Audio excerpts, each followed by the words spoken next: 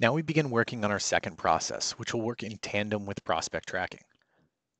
Now we'll review the business case for that process, daily customer wins. The new prospect records are now populated in, into the tracking database, and we want to continually check against the database for any recently modified records which have been changed to closed won. We want to update the Salesforce record, changing the account's record service level agreement or SLA from its current value to gold. Once the account record has been updated in Salesforce, an email is sent to a designated team member alerting them of the change status. Finally, the database customer record will be updated to reflect the notification email that was sent. So let's think about how we'll build our second process called daily customer wins. The first branch will handle the querying of the database for any modified customer records. If modified records exist, we want to update the Salesforce account records to SLA agreement of gold. Then we want to email monitoring user information about new customer records, and we want to update the database system indicating emails have been sent. The goal for the first part of our daily customer wins process is to query the database to see if there's any updated records. To do this, we need to designate the start shape as our database connector and configure the database operation. As displayed, the database operation can be viewed as a container for your statement definition. The Profiles section allows you to statically or dynamically define read statements against tables or stored procedure outputs. You can use the Import wizard to dynamically pull tables and auto-list the columns with field types. The operation also defines the grouping options, which ultimately determine how the SQL response records will be returned as one-to-many documents. The link element is an optional field which specifies the common in a record group to batch into documents. It is common to group the records where the primary key is unique per each document. For instance, we can set the link element to customer underscore ID since it has a unique record identifier returned in our statement. The batch count allows you to define an interval for the grouping behavior.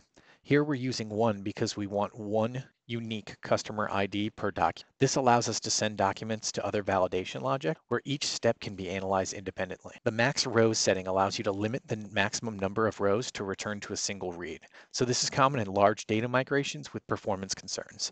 You can read in limited sets of data and flag them as completed using a uh, database write command to prevent them from being picked up during the next execution. The default of zero here is going to mean all. I'm going to walk through exercises 16 through 18. Exercise 16 is going to be create a database read process. Exercise 17, set a database runtime parameter. And exercise 18 is going to be test the process. The following exercises deal with our second process, daily customer wins, which builds a notification process and sets flags in both Salesforce and the database to complete the account record synchronization. So the first thing we're going to do is create a subfolder to house the database read process. So if we click the drop-down arrow next to the Developer One course, we can add a new folder. And this folder is going to be named Daily Customer Wins. And you're seeing since we added it to the developer one folder, it's on the same level as the prospect tracking folder that we created in our last process. The next thing we're going to do is download the process from the process library. So we're going to browse the process library, search processes. We're going to enter in dev1 and we want to pull up our daily customer wins process. Again, we do not want to pull the solution one. So daily customer wins and we want to install. We're choosing the installation location, developer one, daily customer wins, and we're going to install. All right, so the installation was complete. So we can go back to our, our library where we can close this out. You can see now our daily customer wins. We can expand. We'll have the process itself for daily customer wins and we'll have connectors. So we'll have our mail connector. The next thing we're going to do is we're going to create a folder to house all of our connections.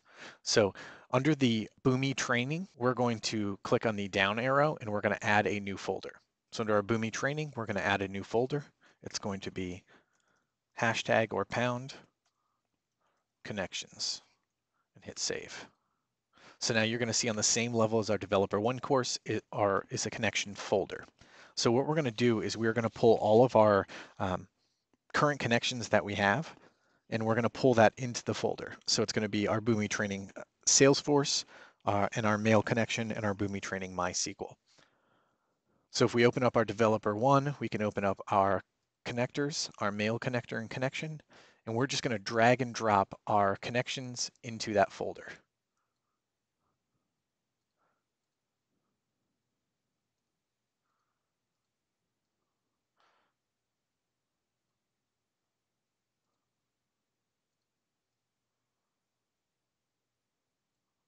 So now you'll see our connections folder. We have all of our connectors and all of our um, pre-configured connections. So I pulled the mail connector from our daily customer wins and then both of our, our database connection and our Salesforce connection from prospect tracking. After we do that, we're going to actually open up our daily customer wins process and we're going to configure the database start shape. So we can double click on here. It is a connector it's going to be a database connector. The action is get, and we're going to choose our Boomi Training MySQL connection. So connection, Boomi Training MySQL. Again, we moved all of our connections into our connections folder, so that's where we're going for it. The next thing we're going to do is we're going to create the operation. Operation, we're going to click create, and we're going to name it query customer by date. Next to the profile field, we're going to click create a new profile. And in the name window for the database profile, we're going to enter query customer by modified date. And then we're going to click on that statement. And then we're going to, going to click on the import feature in the upper right corner, so that blue import button, and open that database import wizard. So browsing in our Boomi Cloud, and we're going to choose our MySQL or My Training SQL connection, Boomi Training MySQL, and we're going to hit next. So here, when the tables load, we're going to choose the customer table and click next. And we're going to select three fields. We're going to select the customer underscore ID, we're going to select the name and we're going to select the phone. So these are the three fields that we're selecting for it. And we're going to hit next. And if we hit finish on success, now if you see under the fields, you're going to have your customer ID, your name, and your phone. Next thing we're going to do is we're going to change our SQL scripting to how it appears in your activity guide.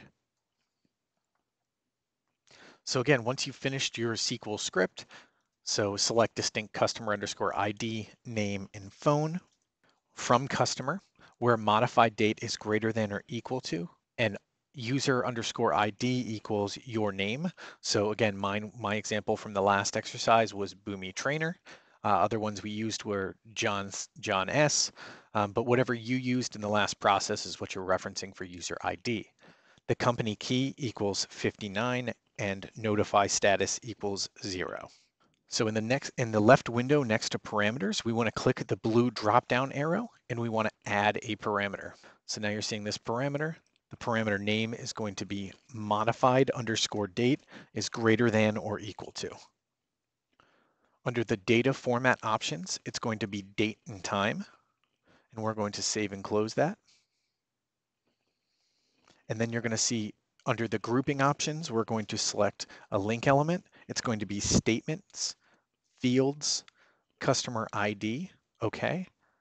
The batch count is going to be one and the max rows are going to be zero. And then we're going to save and close and click OK. So that was exercise 16.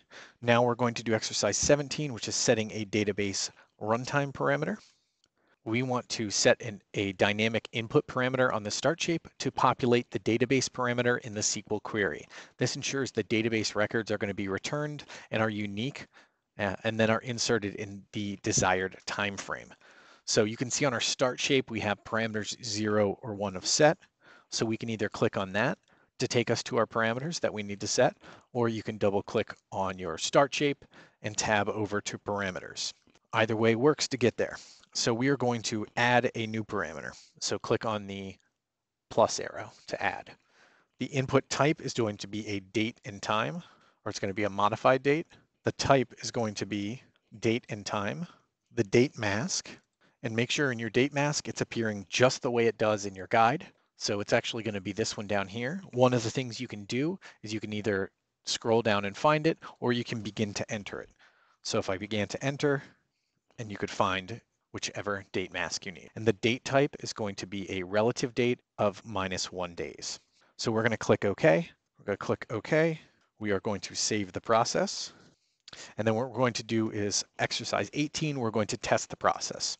So it's time to test the process, see if the two database records were successfully retrieved. A Boomi best practice is to continually test your process at various stages throughout the development. We're going to click on test in the upper right of the process canvas select our test Atom Cloud, and we're going to run our test.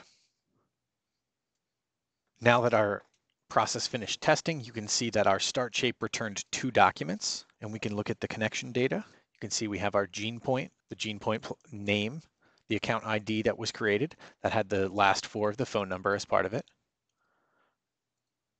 And then we'll have our edge communications the same way. Now it's your turn to complete exercises 16 through 18.